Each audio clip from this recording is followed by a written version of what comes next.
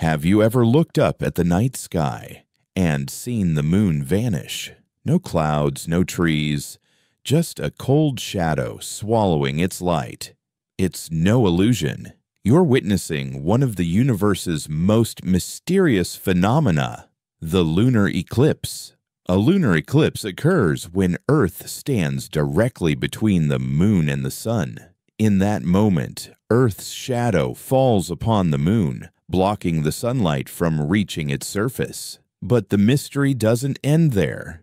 During a total lunar eclipse, the moon doesn't disappear completely. Instead, it transforms, glowing deep red as if soaked in blood. Scientists call this eerie sight the blood moon.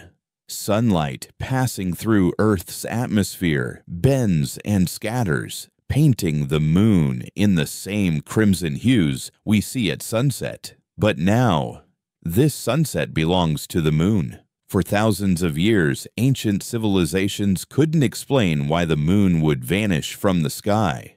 To them, it was an omen something dark and powerful awakening in the heavens.